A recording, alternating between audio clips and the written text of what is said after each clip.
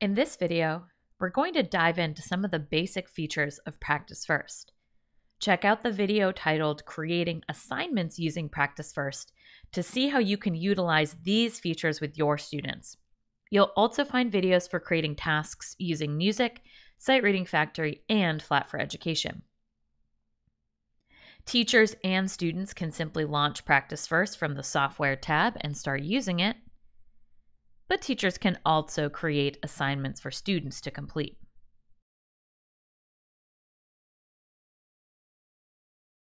Practice First is a software tool that automatically grades students based on a recording they complete. It compares their sounds and audio against the reference recording, which can be uploaded, but usually comes from the notation in the Practice First library or from an exercise you upload.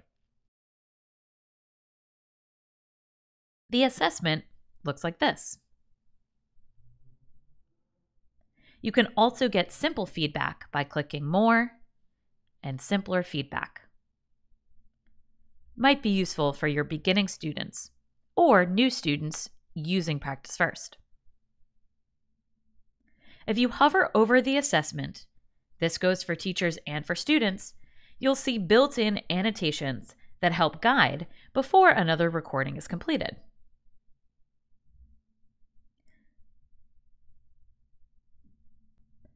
Click on the stars to see a breakdown between pitch score and rhythm score, which are averaged together to get your total score. Length played is factored in when a student doesn't play the entire exercise. So, for example, a 90 would become a 45 if students only submit 5 out of the 10 required measures. The pitch score incorporates pitch and tuning, and the rhythm score incorporates correct rhythmic elements and tempo consistency. The color variant is a reflection of pitch. Green is right, red is wrong. But most students will see lots of shades of green, yellow, orange, red. That's your meh, or needs improvement. The color variations and shades are intentional. A student slightly behind the beat isn't marked as completely incorrect, or beginners who don't have great breath support in their first year don't see super low scores because of it.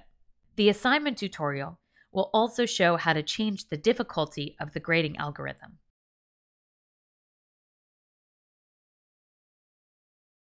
When students record for assignments or you launch Practice First and complete some recordings, there are a few options for what you can hear while recording.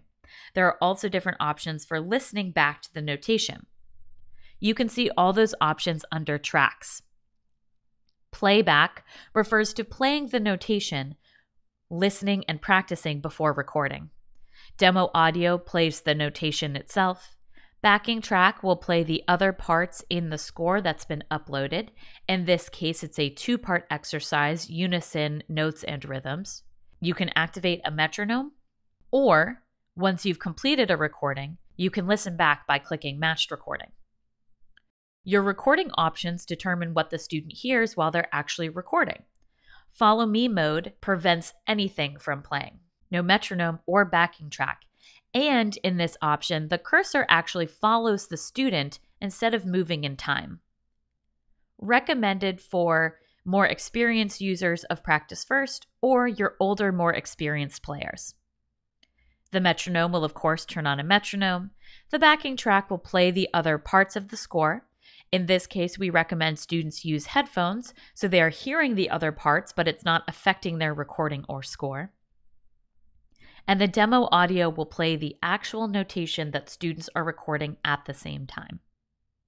Some additional options you can record using video, adjust the tempo, utilize a tuner, change the view from scrolling to pages and back again,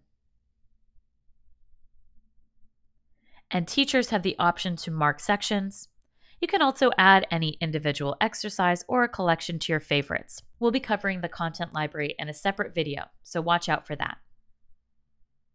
One other important thing to note if you've uploaded a multi part exercise, students are unable to record until they select their part. The recording icon becomes a lock, and students have to choose their voice part or instrument from the dropdown before the recording button appears. You can email support at any time using support at musicfirst.com. We're happy to help, so don't hesitate to reach out.